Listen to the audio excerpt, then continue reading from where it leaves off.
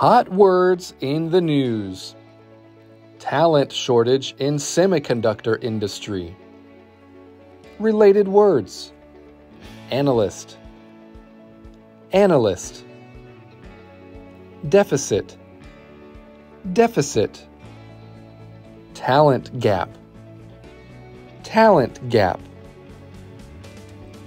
Analysts estimate more than 1 trillion USD will be invested in the semiconductor industry globally from now until 2030. However, there is a massive deficit of engineers in the US, Europe, and East Asia. If current trends continue, there will be a talent gap of 100,000 engineers each in the US and Europe and 200,000 engineers in East Asia, not including China.